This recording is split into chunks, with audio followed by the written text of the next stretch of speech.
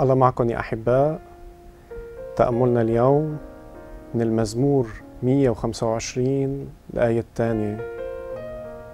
بتقول الآية أورشليم الجبال تحيط بها والرب حول شعبه من الآن وإلى الدهر. تحكي قصتنا اليوم يا أحباء وبتقول كان في زوجة حامل كان معها ولد صغير. كانت عم تنتظر بالمطار حتى تطلع على الطيارة. وبقلب هيدا الضجيج بيبكي الولد الصغير وببطل يطلع على الطيارة. فبتحتار الأم شو بدها تعمل. تقعد بالوسط وبتبلش تبكي. وبهيدي اللحظة تحضر سبع سيدات وبيوقفوا حوالين المرأة والولد وبيبلشوا يعطوها من هيدا الحنان وكمان يعطوها من الطعام والماء. فجأة بيقرر الولد يطلع على الطيارة. بهيدي اللحظات ترجع السيدات لمكانهم. كان عندهم الإيمان إنه هن قدروا يغيروا بالموقف. نعم يا أحباء من زمن بعيد كان اليهود لما بدهم يرتقوا بالحياة الروحية يصعدوا إلى الجبل. وهيك بنشوف ربنا لما بده يقوم بعمل كان يرتقي ويصعد إلى الجبل ليصلي. هيدا الصعود هو الارتقاء. فكيف إذا آية المزمور بتقول الرب حول شعبه؟ يعني نحن اليوم ما عدنا بحاجة لأنه نصعد إلى الجبل لأنه كلمة ربنا تجسدت وحلت بيننا.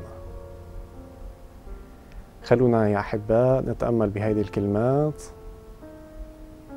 ونوجه نظرنا دايما للرب يسوع لأنه لمسته هي لمسة حية. خلونا نعيش خبرة القيامة مع الرب يسوع وإلى نفحة روحية جديدة والله معكم. حنانك يا رب الأكوان إليك رفعت صلاتي.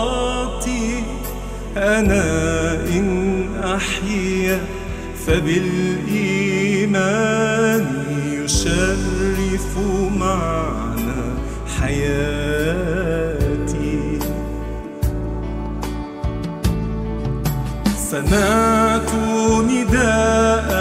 يا ربي يجلجل في أعماقي. صدى يتجاوب في قلبي مع النغم الخفاق.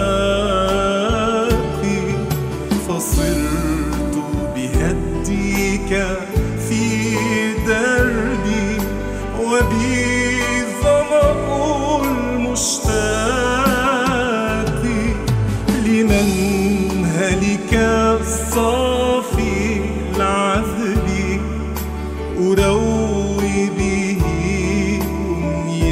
أمنياتي حنانك يا رب الأكوان إليك رفعت صلاتي أنا إن أحيا فبالإيمان يشرف معنى حياتي.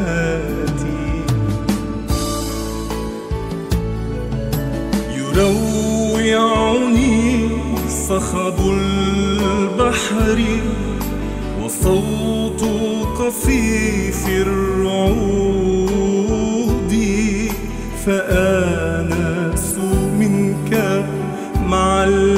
الفجر بفيض الرضا والجود.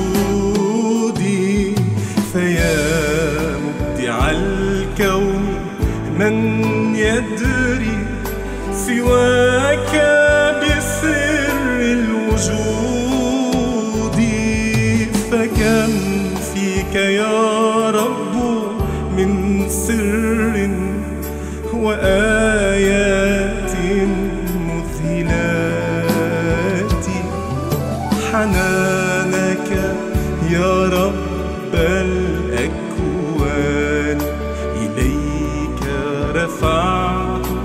صلاتي أنا إن أحيا فبالإيمان يشرف معنى حياتي.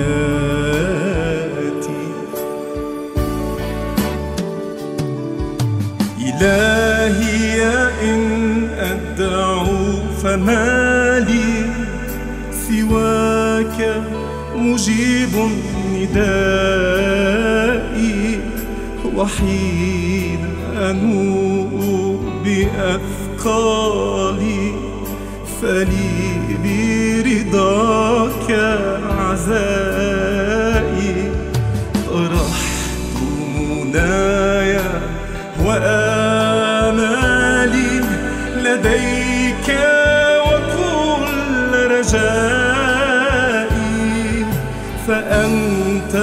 ملاذي ومآلي لديك وفيك نجاتي.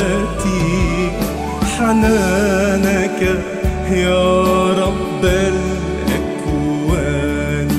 إليك رفعت صلاتي. أنا إن أحيا فبالإيمان يشرف معنى حياتي. أنا إن أحيا فبالإيمان يشرف معنى حياتي.